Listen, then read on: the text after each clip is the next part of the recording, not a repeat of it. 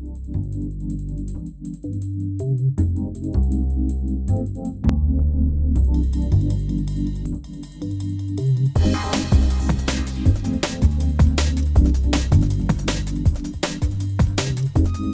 this video I was going to show you guys how Polyworks kind of makes um, makes their file formats or how it divides out its its files here.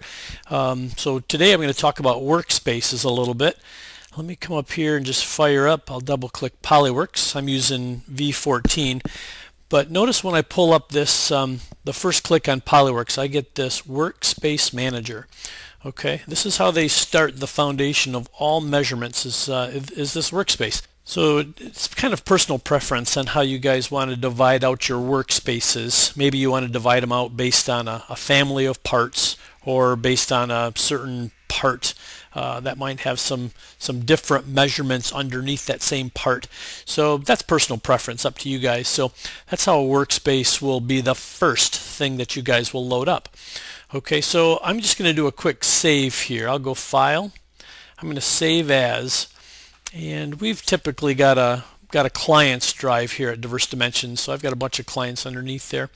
So let me save this under my training stuff. That seems to be a good spot. I don't have anything underneath there now. But under training stuff, let's call this the workspace demo. And I'll hit save there a second. So now look what it's done is Polyworks has set up this little workspace here called a workspace demo. But what I wanted to show you guys is what it's doing here in your files. Let's go to the Windows Explorer, go under my C colon clients and run down to training stuff. Okay, so this is what it's setting up. So look at the finger pointers, what I call it here. Here's the workspace demo. That is the workspace for Polyworks. Look at how tiny it is, 1K.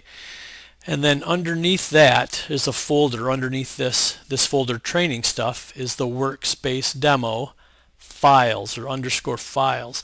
Now this is what um, where all the information from projects and report layouts and point cloud data, all that stuff is going to end up showing up underneath this folder. Okay, so I wanted to at least give you a quick little review of what that is going to, um, where Polyworks is storing their um, their workspace stuff.